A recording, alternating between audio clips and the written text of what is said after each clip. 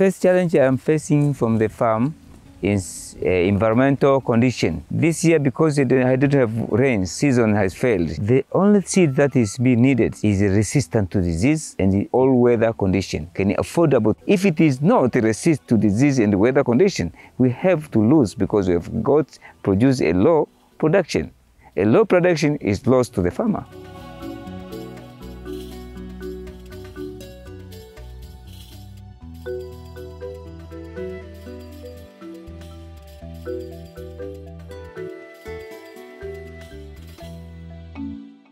It's been extremely important to come here and speak directly to farmers because it's given me a greater appreciation for what they are thinking. Tishali mentioned that he's breeding for slowed down decoloration. This means creating beans that change their color slower. I was like, why would we breed for something like this? But farmers care about it because it lets them hold on to the seed for longer, which gives them more control over getting a good price for their seed.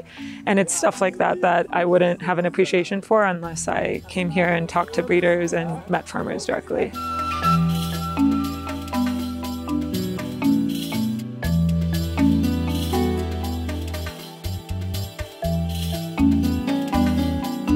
I've been devoting my time for bean breeding. I really want to change farmers' life. African farmers, they are poor, struggling with uh, low yielding varieties. In genetic gain to increase or accelerate, we need to shorten the selection cycle. Instead of releasing varieties in 10 years, we are focusing to release variety within four years. We shorten the selection method so that we increase the genetic gain.